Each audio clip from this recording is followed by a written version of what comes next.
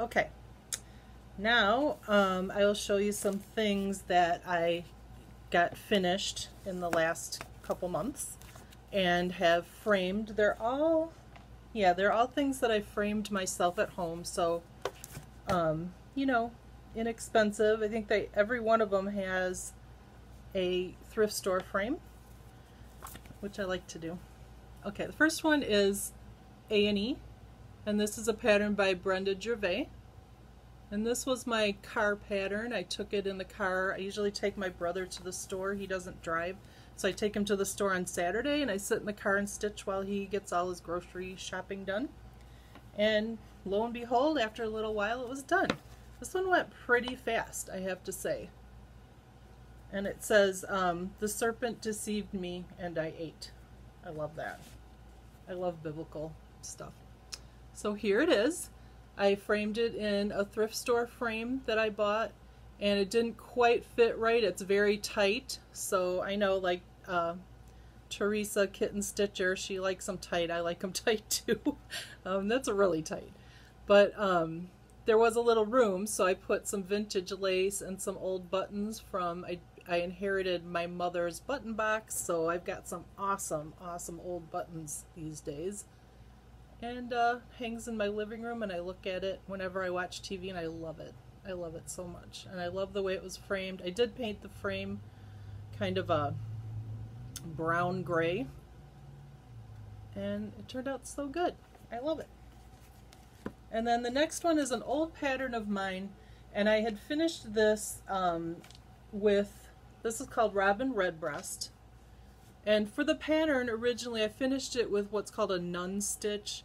And so it's like a, let's see if I can get close. It's like a, um, there you can see, it's like a pulled thread stitch. It's a way of hemming. And so I just hemmed the whole sampler and then for the pattern I just had thrown it on a piece of fabric and took the picture. So I never really had it framed.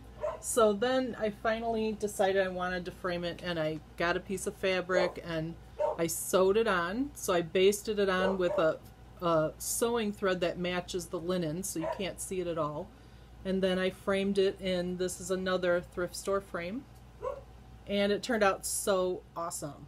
I actually like re, this is a pattern you can buy digitally uh, in my Etsy shop. So I actually replaced all the old pictures with the new pictures of this new framing job. I love it. It turned out so good.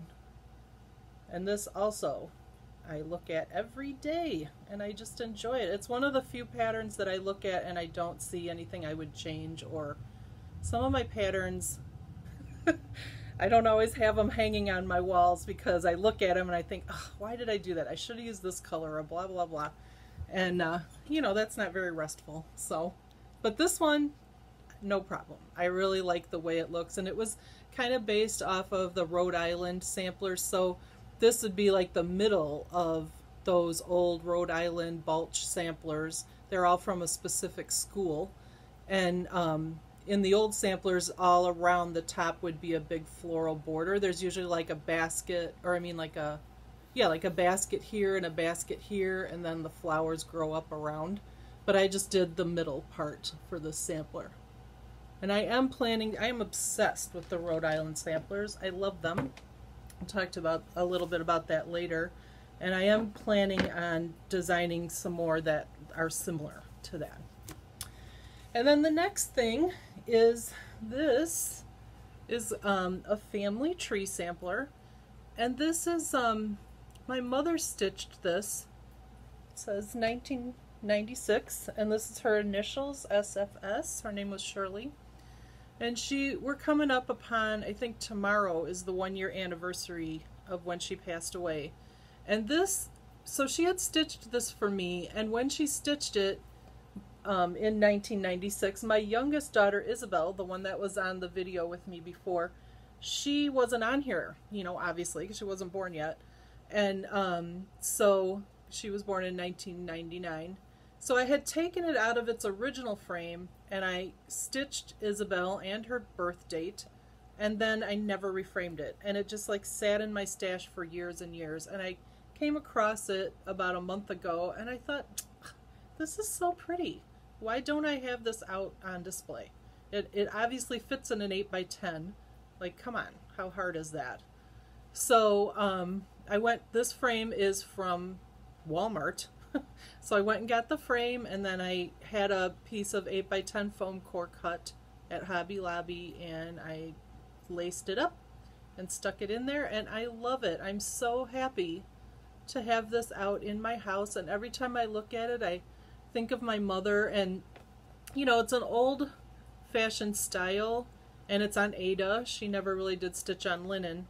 But um you know, I love it because it's something she picked and it just looks like her. Like she loved, you know, pretty little florals and she always had kind of a um, Victorian slash innocent style in the way she decorated. She loved yellow and gingham and things like that. And so it just, it really reminds me of her and I'm so happy to have it on display in my house.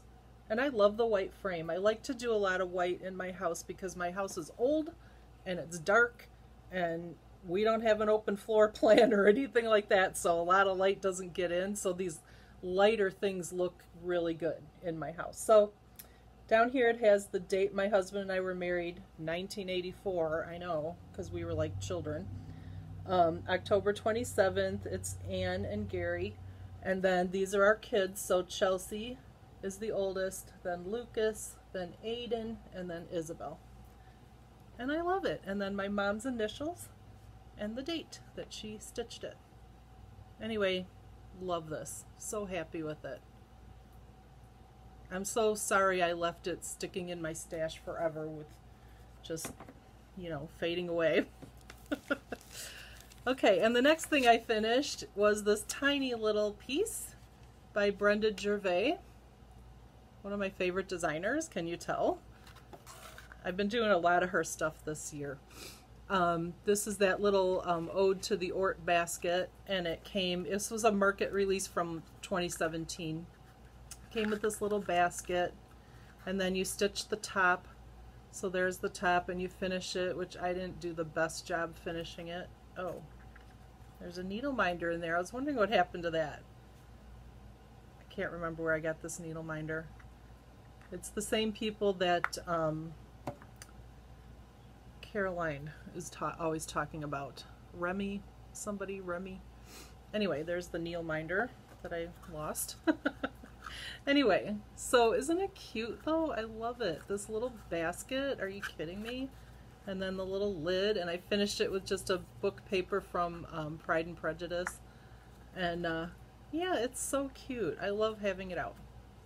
And I did all the painting and everything, so cute, cute, cute. Okay, so those are my FFOs.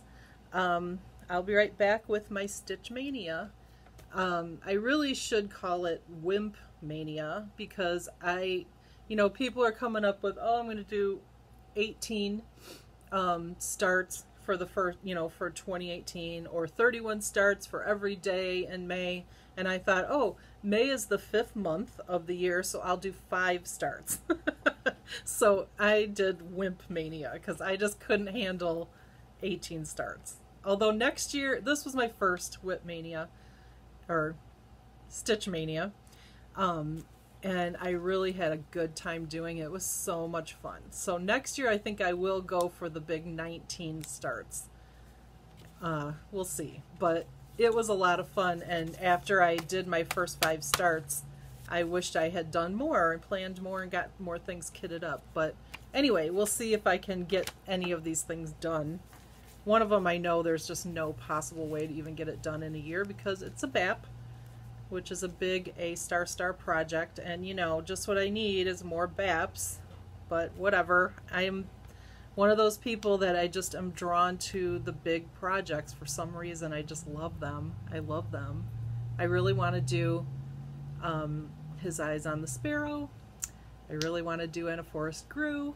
I live in a tiny house. I don't know what I'm going to do with these things after I get them stitched. There's no room for them anywhere in my house. I have to hang them on the ceiling or something, but I love them. All right, I'll be right back.